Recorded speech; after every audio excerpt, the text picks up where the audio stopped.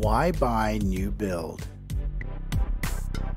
Although newly built homes may be perceived as overpriced or lacking in character, there are positive points to consider. New builds are constructed to the latest building standards. This may include better insulation, lower CO2 emissions, and more cost-effective water and heating solutions.